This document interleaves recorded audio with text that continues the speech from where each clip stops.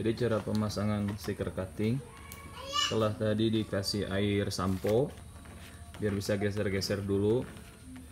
Kalau sudah pas dikasih meteran presisinya pas posisinya pas baru dikeringkan air samponya dengan kartu bekas SIM card nomor handphone atau ini bekas ID card umroh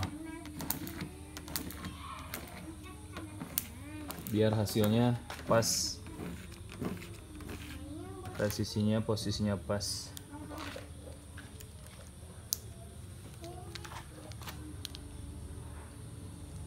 Kalau sudah kering baru dibuka ya?